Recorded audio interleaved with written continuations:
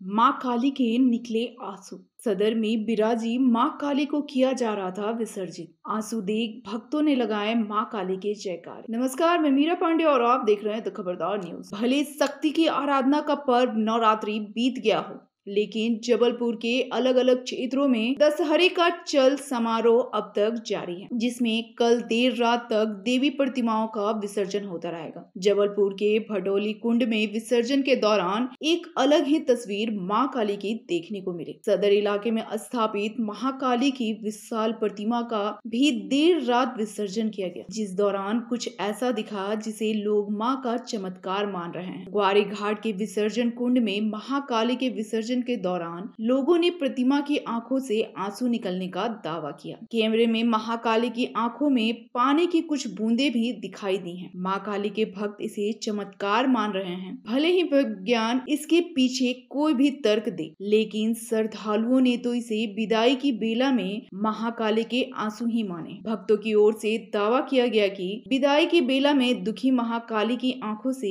आँसू निकल आए। दरअसल नौ दिनों तक माँ की भक्ति करने वाले श्रद्धालुओं की आँखें यहाँ चमत्कार ही देखना चाहती थी, जो उन्हें नज़र आया और विसर्जन कुंड का क्षेत्र देर रात माता के जयकारों से गूंज उठा। मौके पर मौजूद पुजारी ने कहा कि ऐसी घटनाएँ माँ और श्रद्धालुओं के बीच भक्ति की डोर को ही दिखाती हैं। भक्ति कितनी है, कितनी सच्ची है, कमेंट में अपनी राय ज़रूर दें। तब तक के लिए बने रहें तो खबरदार न्यूज़ के साथ, धन्यवाद।